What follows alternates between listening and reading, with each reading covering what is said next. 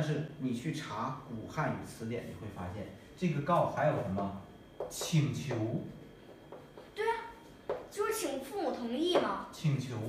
出去的时候请求父母同意。哎，对了，这就说到点子上了。为什么呢？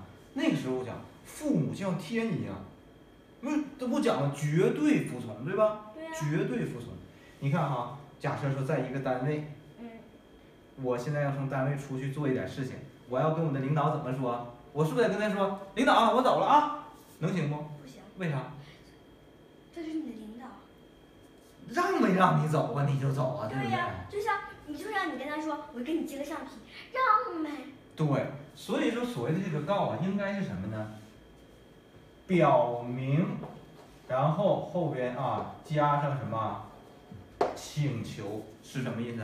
呃，比如说父亲大人，我今天有点什么什么什么事情，所以我想出？去一趟，对不对？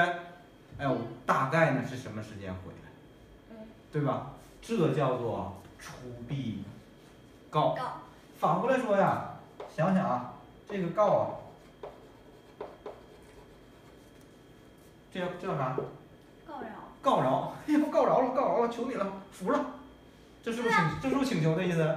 对呀、啊，求饶了，还有像告老，什么呀？告老还乡，向你的皇上表表明什么？